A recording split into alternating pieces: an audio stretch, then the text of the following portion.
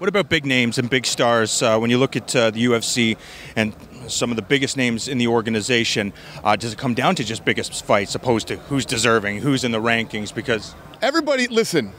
I'm getting tired of the term money fights, okay? I want the money fights. I want the money fights. What are you all going to move down and fight Conor?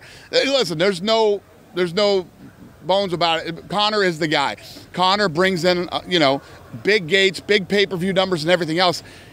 Shut up if you don't. If you're not him, shut up. Okay?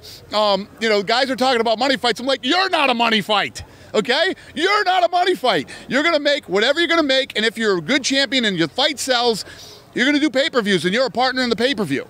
If you're not that big pay per view star, shut up and fight.